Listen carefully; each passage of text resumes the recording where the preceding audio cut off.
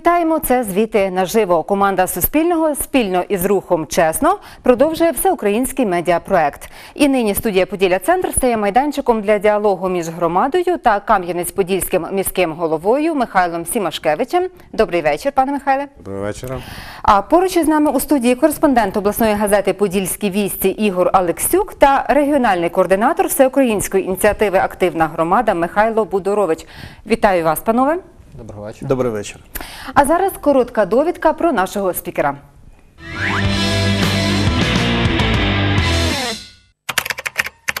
Михайло Сімашкевич, Кам'янець-Подільський міський голова, народився у селі Довжок Кам'янець-Подільського району у 1961 році. Юрист, магістр з економіки підприємства, почесний професор кафедри економіки, підприємництва, торгівлі та біржової діяльності. Трудову діяльність розпочав у 1981 році. Налагоджував станки на заводі Електроприлад. Служив в армії, потім в органах внутрішніх справ, в податковій міліції. З 2008 по 2010 очолював Кам'янець-Подільську об'єднану державну податкову інспекцію.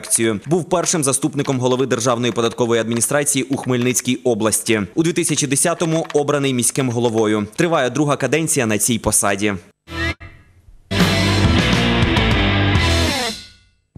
Перед тим як перейти до розмови, зауважу, що ми транслюємось також на українському радіо Поділля Центр і у мережі Фейсбук. До речі, там ви можете продовжити ставити свої питання. І ми маємо чіткий регламент, е, регламент і таймінг. Через 20 хвилин запропонуємо вам долучитись до розмови телефоном. Пане Михайле, по дві хвилини у вас буде для відповідей на питання. І звуковий сигнал буде сповіщати, коли час для відповіді добігатиме кінця. А просто зараз маєте 5 хвилин для звіту е, про зроблене на посаді міського голови впродовж року. Прошу. Доброго дня. По-перше, я хочу сказати слова вдячності за те, що ви запросили мене на таку передачу і завжди готовий до відвертої розмови, до звіту. Але користуючись нагодою, я хотів би сказати слова вдячності своїм кам'янчанам, тому що хто приїжджає в Кам'янець-Подільський, певно, і ви на протязі багатьох років приїжджали. Ви бачите, що місто змінюється, змінюється воно на краще, не дивлячись на ту скрутну ситуацію, яка в нас в країні в зв'язку з цими реформами, з постійним недофінансуванням. То я просто хочу сказати своїм кам'янчанам слова вдячності за те, що тисячі людей щоденно виконують ту роботу, яка робить наше місто краще і надійніше і спокійніше. І якщо за 5 хвилин щось можна розказати, що зробили, то перш за Основне, все, будь ласка. Основне таке. Якщо говорити про основне, то ви знаєте, що останнім часом всі говорять про те, що в Кам'янець-Подільському відкрилася перша в Україні ТЕЦ свого зразка, такого, якого немає на Україні. Це вона третя в Європі і п'ята по всьому світі. Це досить велике досягнення, тому що в нас серйозна ситуація була з нашою старою ТЕЦ. Якщо говорити про е, інші мероприємства, які проходили в нас, то ми вже підписаний 9 червня був підписана угода в Брюсселі про виділення коштів з ІБР для е, так зване безпечне місто. Це е, 15 мільйонів євро, яке місто шосте Кам'янець-Подільський, в основному тільки лише мільйонники, для того, щоб ми могли зробити дороги, велосипедні доріжки, безпечні перехрестя. Не можна сказати про те, що е, мається звертатися увага на не лише на перехрестя дороги, але й на внутрішньобудинкові проїзди, тому що на протязі 25 років, 25 років практично ніхто цих робіт не виконував. Ми згідно з фінансуванням виділяємо кошти. Я скажу, що цього року ми виділили їх найменше за всю історію моїх за- за 8 років, тому що скрутне становище з фінансуванням. Але ми робимо все можливе і неможливе, йдемо на співфінансування, тому що фін- співфінансують частково самі громадяни нашого міста і міський бюджет. Е, Якщо говорити про культуру, щоб вкластися цих 5 хвилин. Е, Знаменною подією для нас стало відкриття цього року будинку культури, в який було вкладено біля 20 мільйонів е, гривень. Я скажу, що кожен присутній, запрошуємо, до речі, в Кам'янець-Подільський до нас відвідати його. Такого зали на сьогоднішній день в нашому, нашій області немає, тому що сама сучасна техніка, саме сучасний зал. Якщо говорити про е, культуру нашу, про те, що чим знамените місто Кам'янець-Подільське, ви знаєте, що постійно діючих 10 фестивалів міжнародного рівня, які, до речі, е, фінансуються не за кошти місцевого бюджету. Ми залучаємо до цього меценатів для того, щоб вони проводили цю роботу. Ну, звичайно, що ці кошти залишаються в нас в Кам'янці-Подільському, вони входять в в обороті. І це дає можливість місту розвиватися і розвивати в тому числі інфраструктуру, залучати інвесторів. Бо перш за все, інвестор їде подивитися на місто Кам'янець-Подільський, а вже після того дивиться, куди можна, в які е, сфери можна вкласти кошти. Медицина, освіта це якраз е, та ситуація, яка під час реформ, які провелися на сьогоднішній день, вона зараз як ніколи потребує великих змін. І мені, на жаль, хочеться сказати, що з, тим, е, з тими коштами, які в нас на сьогоднішній день є, то ми досить багато вклали коштів і в медицину, і в освіту для того, щоб оновити е, основні засоби. Тому що основні засоби на сьогоднішній день у нас досить такому поганому стані. І радісна новина до нас прийшла про те, що завдячуючи співпраці, я завжди казав, міської влади, е, влади з обласної адміністрації і депутат, депутата Верховної Ради. В нас депутатом є Володимир Володимирович Міліченко. Надійшла сума 1,9 мільйона гривень, яка цілеспрямовано піде на е, будівництво дитячих майданчиків. Це три нових дитячих майданчиків, які будуть збудовані в різних районах нашого міста. Якщо в 5 хвилин я, по-моєму, вкластися не зможу, якщо нам проділили часто, я про досягнення можу говорити один і дві, я думаю, але, що у вас буде нагода якраз і впродовж передачі, е, відповідаючи на питання. але я скажу вам, що чим більше говориш про те, що досягнув, то тим більше буде питань до мене, а що не зробили і чому не зробили. Тому я думаю, що під час нашого такого спілкування я зможу дати відповіді на ті питання, які на сьогоднішній день найбільше турбують наших кам'янчан ну, і, і хмельничан тому самому числі. Так, дякую. Тож почнемо до питань. У програмі залучення інвестицій в економіку Кам'янця-Подільського на 2017-2020 роки виділено чотири пріоритетних інвестиційних проекти. От на них акцентуємо зараз увагу.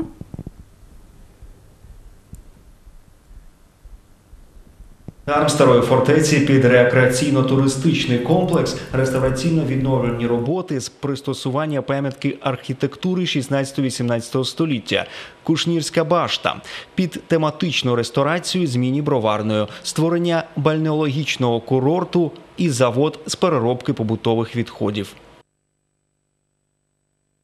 Там на початку не дуже було чути. Першим пунктом було реконструкція казарм старої фортеці під рекреаційно-туристичний комплекс.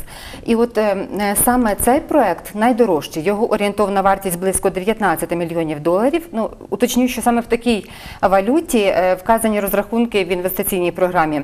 Е, Скажіть, будь ласка, пане Михайле, чи є вже охочі інвестувати саме у цей комплекс? Ви знаєте, на сьогоднішній час інтерес до нашої країни дещо збільшився порівняно з 2014 роком. Ем, Потенційні інвестори є, але якась така нестабільність в нашій державі, вона стримує їх на певному рівні. Були в нас інвестори, приїжджали і е, з Сходу, які в них найцінніше, що в них є, це вода. Рекреаційний центр ми хочемо зробити бальнеологічний курорт, тому що в нас на території міста є чотири види мінеральної води, які досліджені, які мають сертифікацію. І для того, Вибачте, я уточню, зі сходу це з східних країн чи зі східних, сходу країн? східних країн, східних країн. Це приїжджав з Арабських Еміратів шейх, якого досить е, сильно зацікавила вода. Для них вода це саме дорожче, що має бути.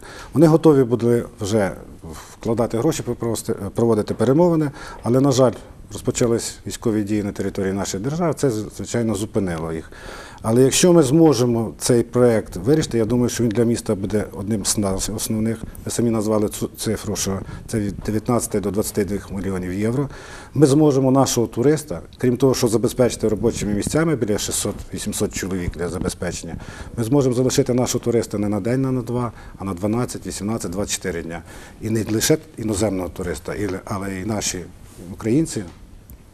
Я думаю, що з великим би задоволенням приїжджали в місто Кам'янець-Подільський, щоб подивитися на історичну, культурну спадщину і крім того, підлікуватися. Це ви сказали про бальнеологічний курорт. А що стосується старої фортеці, чи є охочі от саме ми говорили, що ми бальнеологічний курорт хочемо, щоб він був розташований на, на площі казарм старої фортеці, Ага. тому що там досить велика площа. Наша основна задача зберегти пам'ятник історії і архітектури ззовні, а всередині вже можна робити ті е, ну, все необхідне для того, щоб це стало курортом е, для відпочинку і для лікування. Це дозволяє. А якщо говорити про е, сміттєпереробний завод, ви знаєте, досить багато країн я об'їздив. Я впевнився, що великий сміттєпереробний завод необхідно вкласти інвестиції не менше 40-50 мільйонів євро. Якщо хтось говорить, називає цифру менше, він нереальний. Ми розпочали з іншого. У нас на світізвалищі ми зробили дослідження е, при допомозі Інституту газу, нафти та газу. До речі, за кошти е, USAID. І нам показало, що в нашому випадку ми можемо отримати досить велику кількість газу для отримання е, переробки його і отримання електричної енергії. На сьогоднішній день ми вже до 24 серпня плануємо відкриття цієї газотурбінної установки. Що воно дає місту? По-перше, забираючи цей газ, зменшується ризик про те, що може бути якийсь пожар на нашій е, сміттєзвалищі, на полігоні. По-друге, 15% від виробленої енергії грошовому еквіваленті залишається на комунальному підприємстві нашому, яке буде використовуватись теж для розвитку того самого підприємства. Але тут вже є три стадії. Перший етап, який інвестор зайшов, він, е, він поставив питання видобуток газу. Друге питання не переробка, а сортування сміття. І третій етап це використання тої теплової енергії, яка в результаті когенерації отримується. Для того, щоб її використати, використати ефективно, вони хочуть робити парникові зони. І в нас там є місця, де можна розташувати таке. Наш інвестор він готовий до співпраці, він готовий взяти е, до себе, як то кажуть, в долю любого підприємця, який готовий відповідати за ту е, роботу і вкласти свої кошти. Зрозуміло, що перспектива з переробкою сміття найближча із цих чотирьох перспективних планів, які вказані. А е, розрахований цей перспек... ем, план інвестицій... інвестиційний до 2020 року. Е, Скажіть, чи всі оці чотири проекти реально реалізувати або хоча б почати реалізовувати до Ви знаєте, якщо я скажу, що реально, коротко? я збрешу. Я не хочу брехати, тому що кожна інвестиція, яка сьогодні потребує, вона потребує досить багато часу і досить багато перемовин з тими можливими інвесторами, яких на сьогоднішній день досить мало. Так, я зрозуміла. Згадані казарми фортеці, як і Кушнірську башту, бачу в переліку вільних приміщень комунальної власності, які можуть бути передані в оренду. Нагадаю, їх також пропонуєте для інвестування. От потенційному інвестору це не буде заважати? Ні, ну якщо говорити про Кушнірську башню, то я не бачу великої такої перспективи і навіть бажаючих, які би хотіли проінвестувати цей проект. В нас в Кам'янець-Подільському на сьогоднішній день досить, якщо взяти його під реставрацію там, чи під готель, у нас в місті є е, досить багато вже готелів, і ресторанів, які забезпечують, можуть забезпечити більше тисячі людей. Якщо брати ще приватний сектор, то це до двох тисяч людей ми можемо прийняти одночасно. І тому кожен розуміє, що це е, туризм, це е, він не то, що подієвий, а він посезонний. Якщо брати у нас квітень, травень і до жовтня місяця абсолютно всі готельєри мають роботу, ресторатори, то починаючи вже осінньо е, зимовий період, практично немає. Тому кожен рахує копійку, вкласти великі інвестиції. Це треба, треба необхідно отримати їх. І ви самі знаєте, має бути окупність кожного якогось бізнесового плану. Окупність тоді вигідна, коли вона від 4 до 5 років. Якщо вона перетягується на більше, то це може лише бути такий сімейний бізнес на довгострокову до- термін. Шановні експерти, прошу долучатися вас до розмови. Хто почне? Дозвольте мені. Будь ласка, нагадаю, це Ігор Алексюк, кореспондент обласної газети Подільські вісті. Прошу. Е, Пане Михайло, ви говорили про е, нову і дійсно цікаву і дійсно рідкісну поки що в світі теплову станцію вашу. У мене таке запитання. Ціна тарифу для людей. Коли місто планує якби повернути той пільговий кредит Європі там і так далі, тобто оця, ем, так би мовити, частина, е, що у вас е, є певний час на повернення кредиту, і як це позначиться на, на, на тарифові? Тобто наскільки кам'янчанам, кожному мешканцю Кам'янця, ну дійсно воно е, користь якусь дало, те, що місто побудувало такий колосальний об'єкт. Дивіться, якщо говорити за користь, я не можу говорити про тариф, що він має зменшуватись. Хтось каже, що я десь колись таке сказав. Я ніколи не можу сказати, якщо я е, не бачу економічного обґрунтування. Перш за все, для чого необхідна нам була така теплова централь? Стара централь, яка була побудована в 1960 році, вона була розрахована на цукровий завод, на сам цукровий завод і на селище цукрового заводу. Після того, коли розпалося, почали центральну частину забудовувати і подавати воду з теплоцентралі в центральну частину міста. Сама ТАЦ знаходиться досить низько. Труби діаметром 1 метр, качати на висоту біля 20 метрів, самі розумієте, які енергозатрати. Ну саме великий страх у нас був про те, Труби витримували тиск? не витримували тиску, не витримував тиску і сам котел, тому що в нас було два котла, які е, е, почергово працювали, і жодна фірма, яка робила ремонт, вона не могла дати гарантію навіть на день, тому що вони знали, що воно має. Це для нас велике щастя, тому що всі труби зимою, особливо коли було виявлене відключення електроенергії, пам'ятаєте, вода стікає, знов включається електроенергія, самі розумієте, гідроудар, труби розриваються. На сьогоднішній день у нас такої проблеми не буде. Досить багато запитань дають мені, а що вам дасть те, що ви переходите на альтернативне топливо? Невже ви будете мати цього економію? Може е, тарифи зменшаться. Хочу сказати, що щепа і інші теплові носії, кажу, теплові носії, ще ми можемо спалювати, воно дешевше не стає. Нас турбує те, що перед тим, як отримати газ на сезон, щоквартально, ми мусимо проплатити наперед кошти за газ, який ми не використали. І коли міська, міс- е, міський бюджет залишається без коштів на цей період, у нас йшли відключення газу. На сьогоднішній день у нас такої проблеми знову ж не буде, тому що е, ми за час, от, е, за два місяці заготовили стільки щепи, що ми місяць-два можемо продержатися без газу. Звичайно, газ це самий економічний, самий чистий, ефективний вид. Ну, якщо тільки будуть перебої знов поставки е, газу з Росії, ми зможемо твердо сказати, що ми маємо чим топити. Дякую вам за відповідь. І е, бачимо коментарі під прямою трансляцією у Фейсбук. Пані Вікторія Іванівна запитує, за чий рахунок сьогоднішній ефір на обласному телебаченні. Е, Шановна пані, можу вас запевнити, що він абсолютно безкоштовний і щомісяця у нас відбуваються звіти наживо.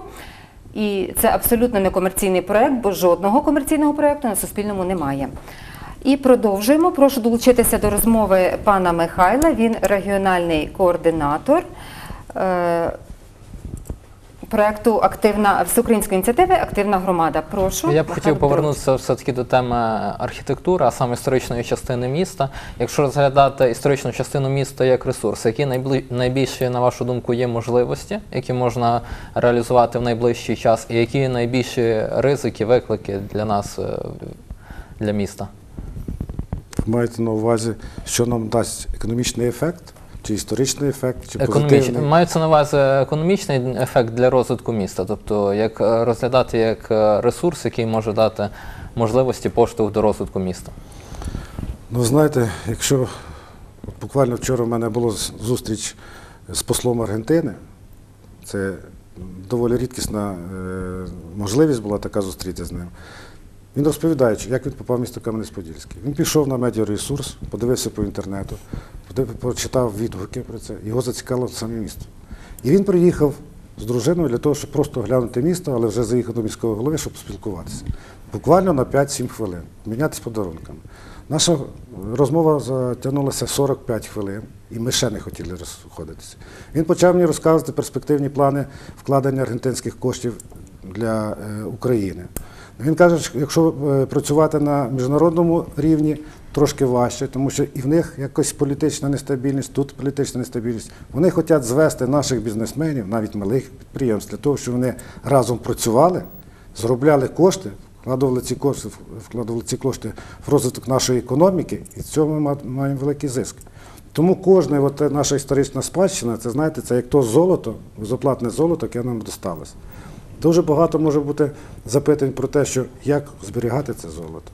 І ви все чудово розумієте, що наша фортеця це історична архітектура державного значення.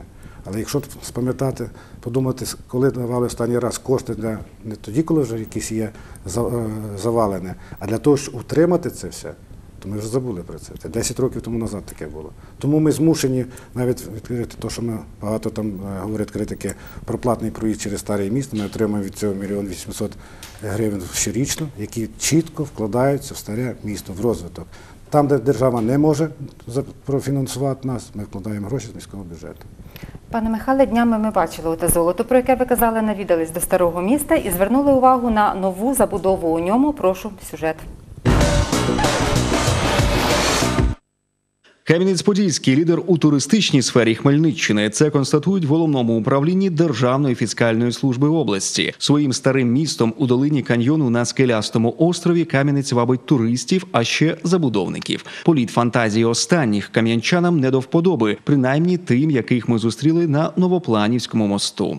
Особисто мені не подобається, воно не вписується в територію даного місця.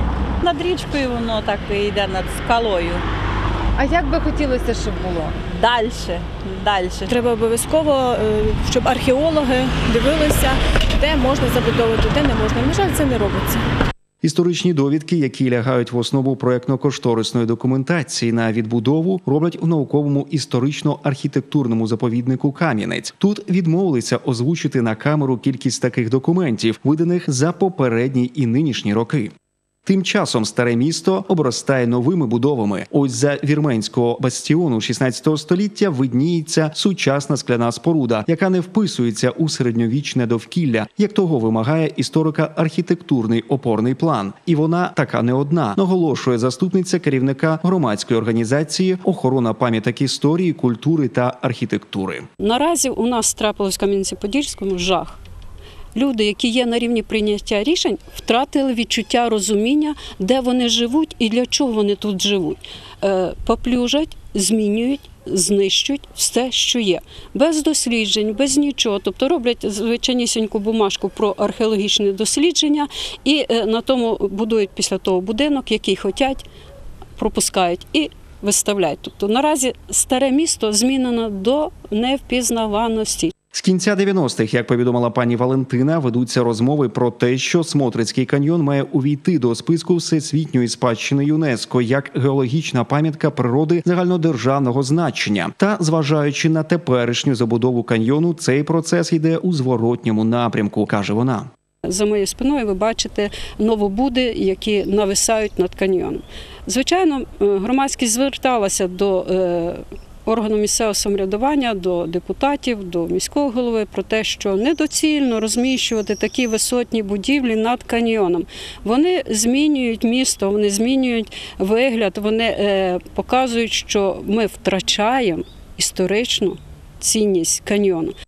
Заповідна територія передбачає обмеження новобудов за висотою, габаритами та зовнішнім виглядом. Відповідальність за невідповідність має нести кілька структур, пояснив директор департаменту містобудування та архітектури Кам'янець-Подільської міської ради Ігор Пиріжок. Перед е, проектні роботи розгля- розглядає наукова рада заповідника, погоджує управління культурної спадщини, е, розглядає за зверненням забудовника. Проектна документація розглядається на містобудівній раді. Тому відповідальність несе несуть всі, але в межах своїх повноважень. Головний архітектор Кам'янця не заперечує, що порушення у новій забудові старого міста є. Чи є якісь питання, які дійсно е, викликають якесь занепокоєння? Звичайно, є. Але їх би не було, якби е, стояли купи сміття. Я вважаю, що якщо є такі питання, то потрібно сідати за круглий стіл і, і вирішувати їх. От і все. А те, що комусь подобається, не подобається, ну це ж таке, це кожного є приватна справа. Пане Михайле, ви як міський голова теж вважаєте невідповідність нових забудов у старому місті вимогам генплану приватною справою? Якщо говорити взагалі про генеральний план, забудови нашого міста, всі ці будинки, які почали е, будуватися, весь каньйон, він був забудований ще в 90-х і 2000-х роках. Я не можу відповідати за ті дії, які є. За кожний будинок, який на сьогоднішній день є, у нас є спеціалізовані підрозділи державні, які зобов'язані проводити нагляд. Та деякі питання нам, теж не подобаються, і то, що показували на фоні старої фортеці, як е, нова забудова. Ми зверталися неодноразово в Міністерство культури, з архітекторами говорили. Дали дозвіл Київ. Ми на сьогоднішній день припинити, зупинити його аж ніяк не можемо, розумієте? І скільки цих звернення, таких звернень, то вони просто як вроді ігноруються. Це некомпетенція, тому що всі розказують про те, що місцеве самоврядування, міський голова, вони зобов'язані зробити, вплинути. А як вплинути? Деколи міський голова сам себе не може захистити, так само і депутат. Аналогічна ситуація і старим містом приходиться. Є чітко сформовано в законі, що можна робити, що не можна робити. Всі ці будинки, які будуються зараз, це вони будуються на тих фундаментах, які знайшли. Це е, відбудова історичної спадщини. Якщо говорити про археологів, то я вам скажу, що ми от на протязі трьох років, що ми раніше кажемо День міста, День міста, ми точної дати народження нашого міста не знали. Але завдячуючи цим археологічним розкопам, в тому самому числі і де проходять зараз це будівництво, знайшли, що на території міста 5,5 тисяч років тому назад проживали вже люди. Тобто археологи проводять, проводять свою роботу і дають заключення, можливо будуватися, неможливо будуватися. А зараз краєм ока так бачу, як показували, як там е, новобудова. Колись у нас районний Ромав був. Це старий рейстак, як ми його називали. Він стояв, ми його вічно кліткою, е, тою сіткою накривали. Всередині жили наркомани, діти ламали ноги. І коли забудовник взяв на відбудову, він взяв всі документи згідно з законом. Ми створили зараз, до речі, комісію. Е, Але вибачте, я уточню, бо на відбудову зовсім не схоже той, що ми бачили таку частинку за вірменською за вірменським бастіоном, повністю скляне приміщення. Я вам за це говорю. Повністю скляне приміщення. Це коли вони почали будувати. Але відбудова це ніби має бути То не відбудова. Я, Мгм. Ми наскільки я ще раз кажу, що це дозвіл на будівництво дало Міністерство культури і погодження прийшли з Києва. Ми неодноразово звертали увагу, просимо переглянути це питання, поставити на місце, заборонити. Ми своїми силами просто не пускаємо їх туди, не даємо далі будувати. Тому що ми не бачимо загалом, що воно має бути. І питання стоїть серйозно. Ми написали правоохоронні органи, щоб звернули увагу. Якщо там є якісь приписки там, чи якісь підробки документів, щоб е, правоохоронні органи розібралися. Ми не зможемо цього зробити самі. Зрозуміло. І ми відкриваємо телефонні лінії. Глядачі і слухачі можуть телефонувати за номером 096 688 50 68. І маємо вже телефонний дзвінок. Добрий вечір, слухаємо вас. Добрий вечір. Я вітаю шановного Михайла Істафійовича і всіх гостей студії. І в мене дуже болюче питання щодо новозбудованої ТЕС. А справа в тому, що з моменту запуску і до її зупинки 16 липня ми, мешканці приватного сектору, ну, які неподалік від цієї ТЕС, пережили справжній шок. Просто наше життя і нічний сон перетворилися на якесь жахіття. Тес страшенно гудить, виє. І це, знаєте, нагадує якесь катування звуками високої частоти. Я вже не кажу за дробарку, то і щепи. Мені це нагадало просто цех помолу на цьому заводі, бо я там працював. Те збудували вплотну до железної дороги, ну, до хатів, скажімо, метрів 150. А неподалік ведеться ще й е, дві багатоповерхівки зводяться. Я собі не представляю, як будуть жити люди і чути ці звуки. Можливо, передбачено проектом ну, створення якоїсь шумоізоляції, якихось бар'єрів, екранів. Якщо це новітня світова технологія, то і захист здоров'я населення має бути на світовому рівні. Ваше питання зрозуміло. Ну, Дякуємо хотілося вам. б, щоб ви Дякуємо. Ну, Обов'язково ми звернемо увагу на це. Дійсно, технології проходять по європейських стандартах. Е, Передбачено, так як витрачені кошти не всі. Одно з таких, коли комісія приймала рішення про запуск, одно з рішень було те, щоб зробити так, як на автомагістралях, от такі е, шумопоглашаючі забори, як то говорити вже. Це питання буде розглядатися. Але те, що немає ні викидів, абсолютно ніяких там шкідливих, тому що це. Спеціалізована така система Ренкеля, яка використовує практично всі викиди і все тепло, яке мало би піти в атмосферу, вона використовує для того, щоб ще запрацювала турбіна для виробітки електроенергії. Якщо будуть заміри, обов'язково ми будемо проводити заміри.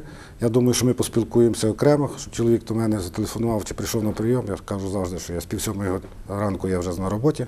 Що він прийшов, розказав мені свою проблему. Обов'язково ми звернемо це увагу і виправимо ситуацію. Дякую. Маємо Поки, ще це, телефон. поки ми працюємо в режимі наладки, ми це все можемо виправити. Ні, повідомляють, що немає вже телефонного дзвінку.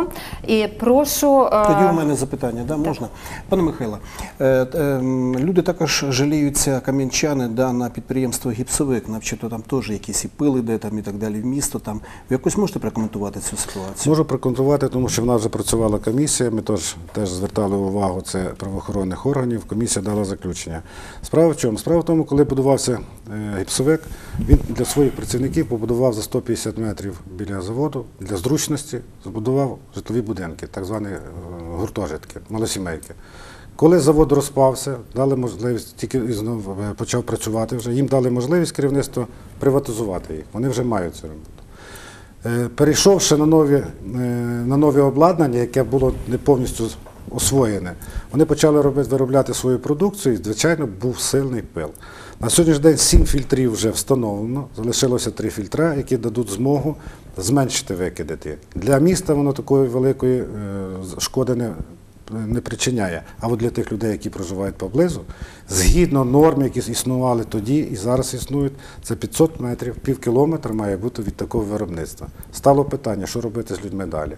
Ну, е, наскільки ми от буквально е, сьогодні ми говорили з директором ІПСВК, який сказав, що за неділі дві вони встановлюють ще три фільтри, які повністю забезпечать Ну, я не можу сказати теж впевнено, чи вони повністю забезпечать, тому що фільтри, на фільтри дають ем, сертифікацію одну, а можуть поставити інші. Тому будемо контролювати далі, і є правоохоронні органи, які до цього приглянуться. Дякую. Але і зупинити підприємство теж немає як. Треба буде думати, що підприємство можливо переселяти людей, можливо, надавати їм якісь інші квартири. Тут вже там необхідно спілкування. Я завжди кажу, в спілкуванні можна знайти завжди вихід ситуації. Дякую. І маємо відеозапитання від редактора інтернет-видання Вдало інфо Дмитра Шеремета. Прошу. Травні цього року е, Михайло Єстафович озвучував, що внесення культурного ландшафтного каньйону планується до світової спадщини ЮНЕСКо. Тоді ж озвучувалась сума 10-15 мільйонів гривень. Натомість ми отримали відповідь з Мінкульту, де вказується, що з міста ніхто не звертався, ніякої експертної думки не питалися, і також вони не озвучували жодної суми. У мене питання, звідки взялася сума, і чи ці перемовини взагалі звідки будуть продовжуватися. Прошу, пане Михайле. Ви знаєте, дійсно, у нас були перемовини яким чином. Ми розуміючи про те, що Кам'янець-Подільський вже двічі подавався для того, щоб стати таким знаменитим містом е, і щоб отримати таку спадщину ЮНЕСКО, зверталися, отримували відповідь про те, що фортеця наша не підходить, підходить тільки наш каньйон. Ми вирішили спільно з Хотином, спільно з Білгород-Дністровським і Кам'янець-Подільським підготувати відповідні листи для того, щоб спільними зусиллями війти з проєктом. Ці проекти ми надали, нам озвучили їх, що має бути, приблизно, як воно це все має бути. Але, на жаль, на сьогоднішній день я не бачу такої великої зацікавленості в те, щоб приймати когось е, з України в ЮНЕСКО. От відверто, розмовляючи з людьми, які спілкуються безпосередньо з експертами, вони відверто сказали, що такої великої заінтересованості немає. По-перше, це знову ж таки витрачання коштів. Ви бачили, що нашій державі спочатку обіцяли мільярди євро, потім вони перетворилися в мільйони євро. І на сьогоднішній день по грантових програмах ми порівняно з тим, що отримали, могли отримати в 15 навіть 16 році ці суми наоборот зменшилися. Ми будемо далі працювати. Якщо от громадські діячі наші допомагають, нам готові, ми готові брати їх разом з нами, їхати, щоб вони чули безпосередньо, що робиться як. А на рахунок каньйону, то в нас була така задумка про те, що каньйон розчистити. Ви бачите, який він зараз е, е, наш каньйон. Ми хотіли його почистити, але громадськість, деяка стала на свою позицію. Нам необхідно для того, щоб його розчистити зараз, треба е, лише 5 мільйонів гривень для того, щоб розробити проекти. Два. Але я не буду про це говорити. Я думаю, що пан Шеремета зможе до мене підійти, і ми можемо поспілкуватися на рахунок цього. Е, Дякую. Я перепрошую зараз телефонний дзвінок, щоб не зірвався. Добре, і тоді вам надаю слово. Е, Добрий вечір, слухаємо вас. Доброго дня, мене звати Софія Олександрівна. У мене таке питання. Скажіть, будь ласка, про оздоровлення дітей і яка категорія дітей їздить на оздоровлення за кордон? Дякую. Ви знаєте, ми по оздоровленню дітей е, працюємо на протязі багатьох років і нам велика допомога на цьому надає е, польська сторона. У нас є 19 міст побратимів з польської сторони. Таке містечко невелике Тарнова Подгурна, вона вже на протязі 6 років приймає наших дітей. Вона приймає наших дітей на оздоровлення, е, дітей ветеранів АТО. Вона приймає на оздоровлення дітей-сиріт. Цього року безпосередньо їздили діти-сироти. Глогівський повіт приймає, там є така спеціалізована клініка Петра Павла II, е, яка приймає дітей хворих на церебральний параліч. Е, Звичайно, всіх дітей ми не зможемо забезпечити цими відпочинками, але з міського бюджету біля мільйона гривень виділяється для того, щоб могли поїхати і діти позбавлені батьківських е, батьківського піклування, діти, які з малозабезпечених сімей. Це вже виділяємо кошти з міського бюджету для того, щоб повністю, повністю вони могли відпочити в Україні. Я скажу вам, що коли в нас було День міста, то ми поспілкувалися з Словенією. Словенське місто домовилися, що восени поїдемо, будемо домовлятися про те, що вони готові взяти на відпочинок до себе в гори. Там моря немає, в гори. Але останні ці, е, ці роки, які наші діти їздили в Польщу, ну, такого задоволення в очах дітей я ще жодного разу не бачив, коли вони приїжджали з Польщі. Відношення теж таки добре до наших дітей. Дякую, пане Михайле. Попрошу вас, можливо, навіть ще лаконічніше відповідати, тому що маємо багато дзвінків. Постійно мені повторюють, що вони є, але я обіцяла панові Михайлу питання. Прошу. Так, маленьке уточнення з приводу каньйону як історичної спадщини ЮНЕСКО. Який коментар давали ЮНЕСКО, коли цей запит був? І е, можливо вони давали якісь рекомендації, як має саме виглядати каньйон, щоб він став історичною спадщиною? Я не хочу бути голословним. Я сказав, що ми троє поїхали до людей, які мали передати цей документ. Нам просто сказали те, що я сказав, що на сьогоднішній день зацікавленості нема. Оційно, офіційного листа мені отримати, віддати і отримати такі, таку саму відповідь для мене, як для кам'янчанина, було би теж неприємно. Все, дякую. Зрозуміло. І прошу телефонний дзвінок. Слухаємо вас. Добрий вечір. Е, Доброго дня.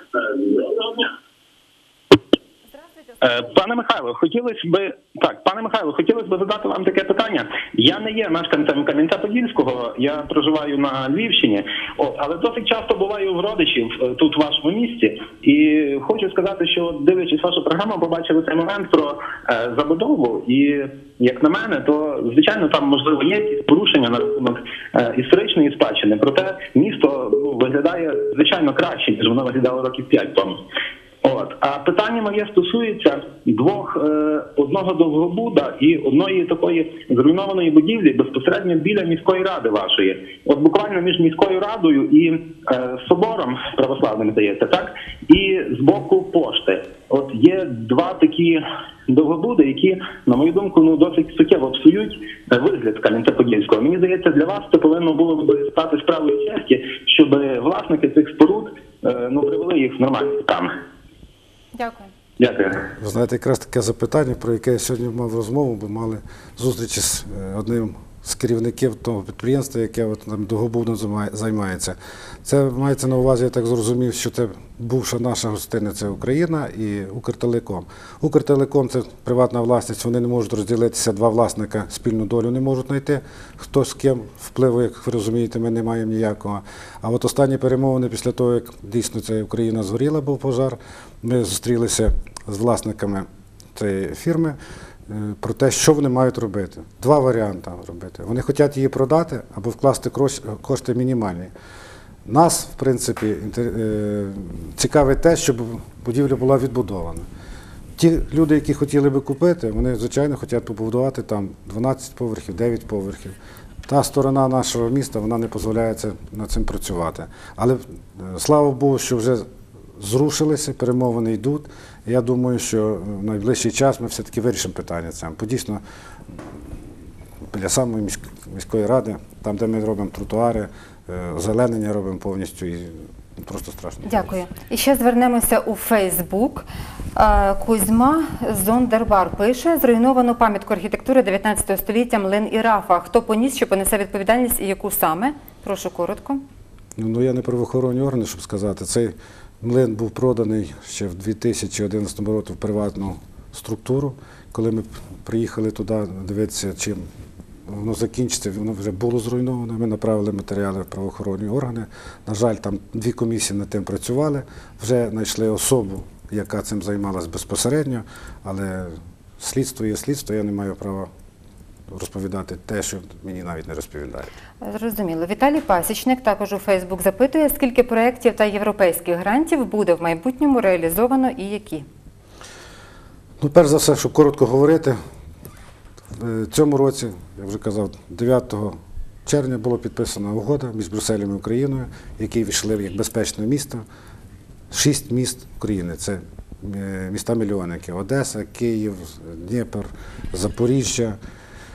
І одне маленьке статичне місто Кам'янець-Подільське війшло до, цієї програми. Я думаю, що якщо ми до кінця року розробимо проєктну кошторисну документацію, то це буде самий грандіозний проєкт на послідуючих 2-3 роки для того, щоб місто Кам'янець-Подільський дійсно стало містом з європейськими дорогами. А от за суму, яку ви щойно згадували, Михайло Костенко за дорученням громадської організації Кам'янецький тролейбус дописує, що згадана організація внесла пропозицію, щоб виконати ремонт доріг для електротранспорту у шести напрямках в рахунок отих 15 мільйонів євро кредитних коштів, наданих Європейським банком. Е, е, Ну, на проект підвищення безпеки доріг. Пан Михайло запитує, чи буде виконано ремонт або будова від Дивіться, для того, щоб вирішити питання остаточно з електротранспорту, бути в Кам'янці чи не бути, ми єдине місто, яке прийняли програму, тому до нас звернувся і завод Електрон, ми безпосередньо розмовляли з ними, який виготовляє ці е, електробуси. На жаль, він є тільки лише один в Україні. Після того ми приїхали в, е, в Польщі, в Польщі е, мали розмову з серйозною організацією, яка вже на протязі 15 років будує такі автобуси. Десь на 15-14 серпня вони мають приїхати до нас, надати допомогу по розгляду тої, тієї програми, як, як мають, можуть ходити автобуси, ці тролейбуси. І після того ми тільки почнемо говорити про кредитування чи як купити цей тролейбус. Тролейбус, на жаль, е, європейського зразка, він коштує на наші кошти, якщо взяти до 20 мільйонів гривень. Для міста це непосильне, для держави ще не посильніші, тому що вони навіть не розглядають питання нашого вітчизняного виробника.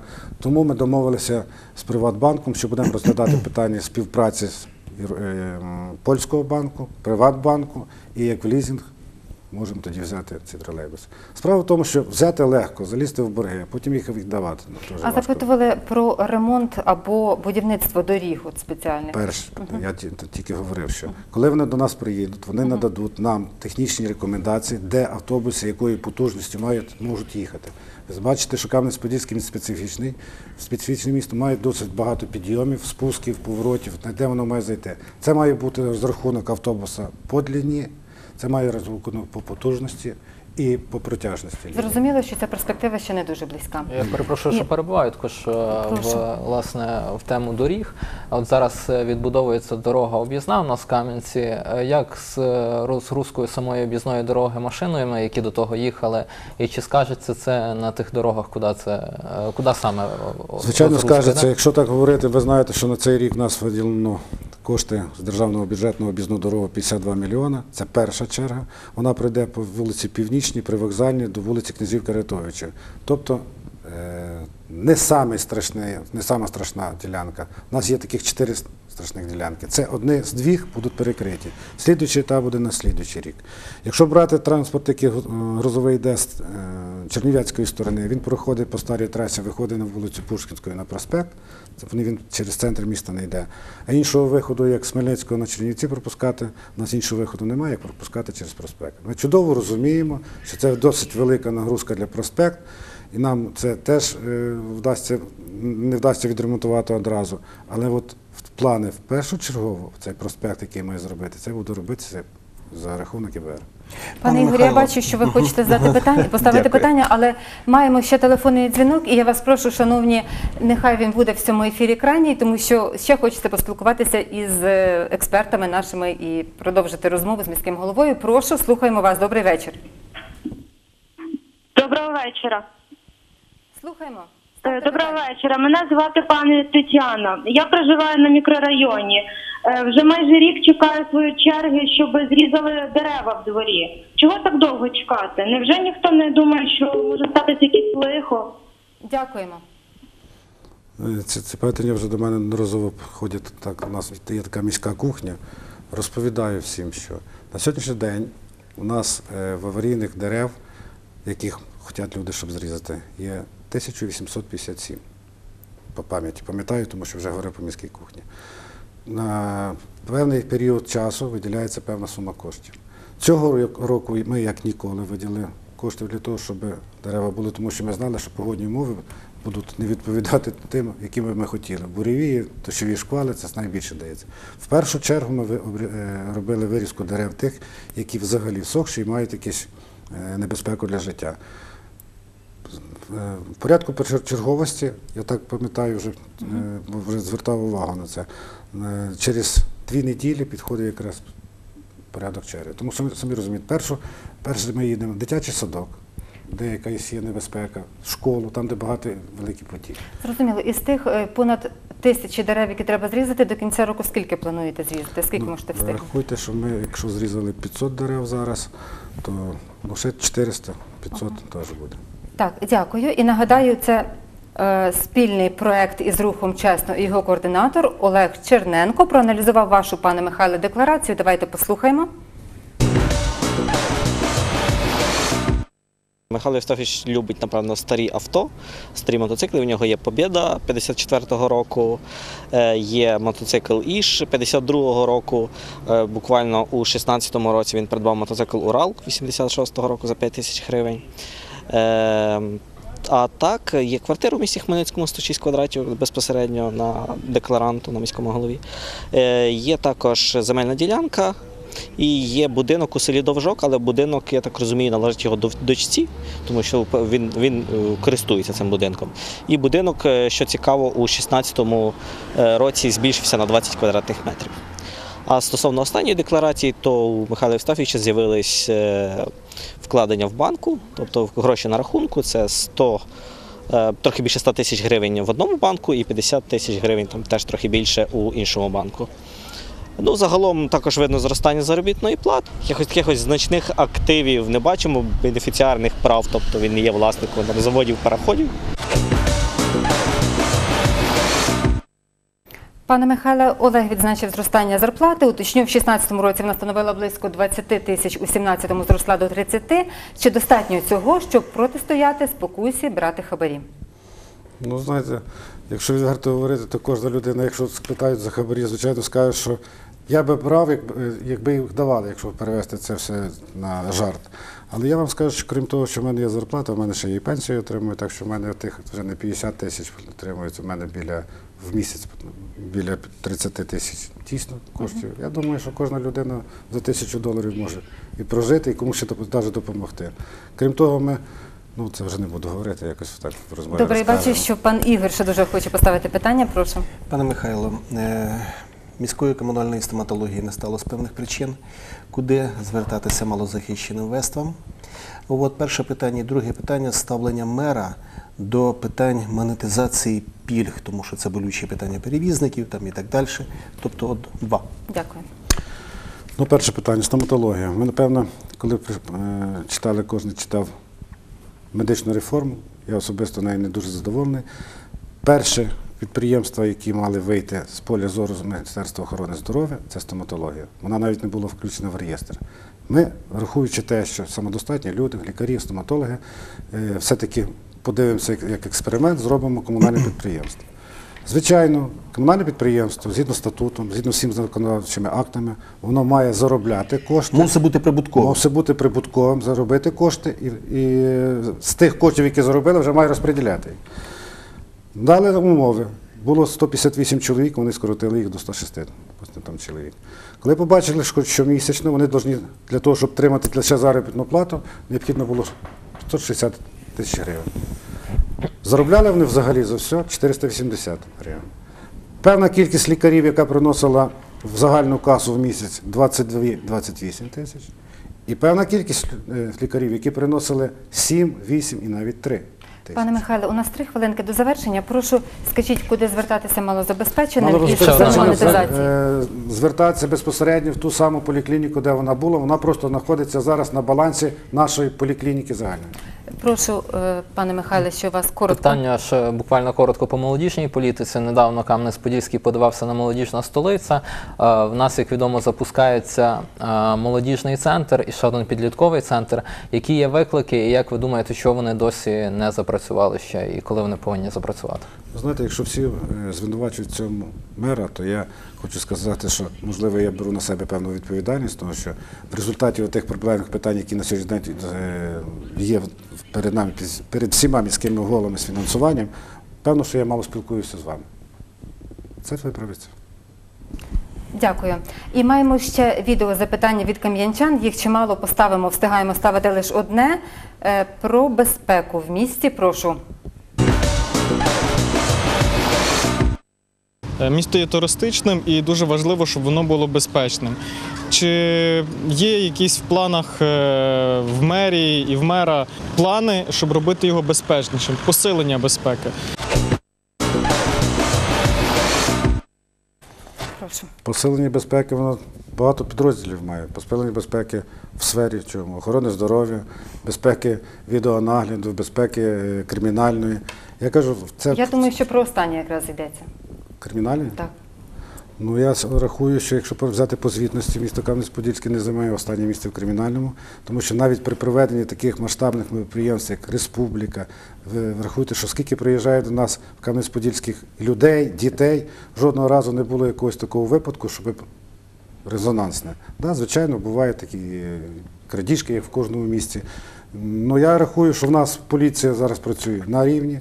Ми поліції стараємося допомагати. Крім того, у нас є підрозділ нашої муніципальної поліції, який на необхідних випадках навіть зараз сталася проблема ця з, е, з дорогами, куди направляти їх. Вони в цьому будуть приймати участь. А одне з питань, яке ми маємо розглядати ще на сесії, збільшення муніципальної поліції, тому що депутати побачили, що досить результативно, коли муніципальна поліція працює в місті Кам'янець-Подільську. Я зауважу ще, що серед коментарів у Фейсбук досить багато є питань, які стосуються безпеки в місті. І я думаю, ви їх потім побачите, а можливо вже бачили. А загалом е, від вас, шановні глядачі, питань надійшло значно більше, ніж у нас ефірного часу. Він уже Добігає кінця, пане Михайле, я вас попрошу затриматись і дати відповіді на питання у Фейсбук, бо їх досить багато.